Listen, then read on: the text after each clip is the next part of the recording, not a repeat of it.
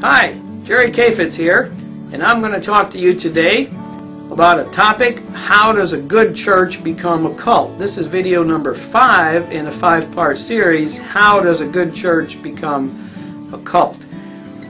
A lot of cult-type churches are very rigid in their orthodoxy, they're very authoritarian, and they tend to be established more on Old Testament models than New Testament models.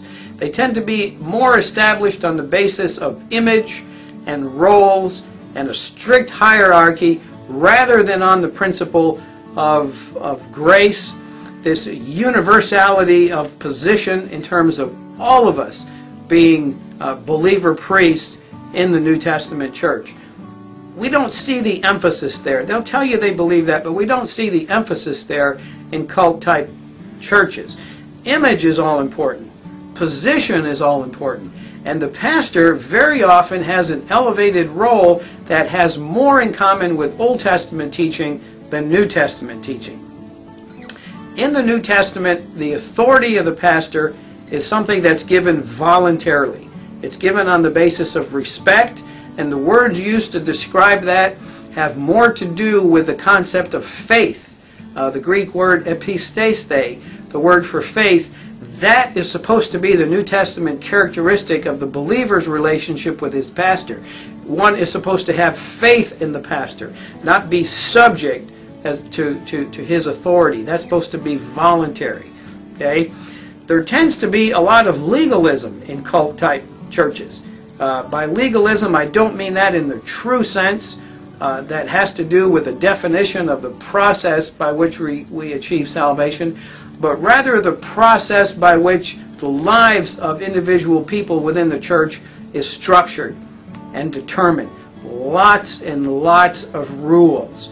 Uh, you don't break those rules with impunity, even if they're unspoken rules that have to do with an orthodoxy of dress uh, an orthodoxy in terms of, of where people sit in the church. Who has what position, who has what role.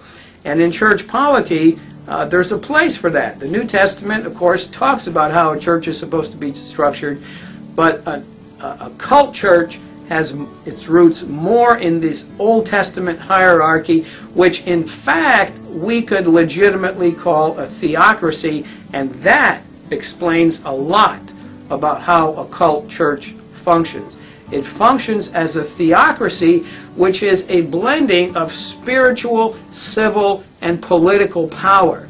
And so the, the grasp of the leader of a cult type church over the life of the church member is very broad, very pervasive. Um, I've heard people in churches like that kid that uh, uh, they don't rearrange their furniture without getting a counseling session with their pastor. And although that's meant to be uh, in the context of humor, um, there's a little bit of truth to that, and that's what makes funny. That's what makes all humor funny. There's a lot of ritual in a Baptist church. There are a lot of ritualistic things that have to do with how we function, and, and, and people find comfort in that. We find a diminution of, of grace in, in cult-like churches.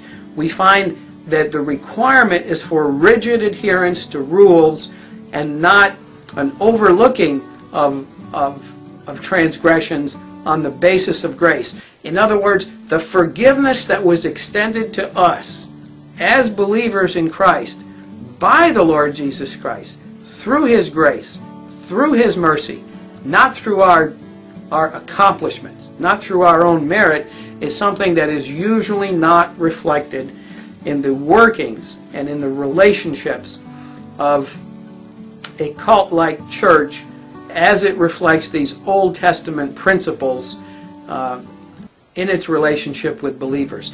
So there you go. There's a, an overall description throughout this five-part series of how a good church can become a cult. How a good church can become a cult. Basically, it comes when the church itself becomes an idol. When Jesus Christ has been replaced as the only figure who should be on the altar with the church. When decisions are made, not on the basis of righteousness, but on the basis of what is the most expedient decision for the church. What is in the best interest of the church? When that happens, that's the beginning of the end. The church doesn't have a mandate that allows it to be excluded from the principles of righteousness just because it needs to continue. No, it doesn't need to continue. It needs to express the righteousness of Jesus Christ. And in that expression, it finds its right to continue. Absent that expression, it does not have a right to continue. And you're not going to end it. I'm not going to end it. God is. But we can certainly make the decision this is not a healthy church. This is not where I want my family. I'm Jerry Kaifetz.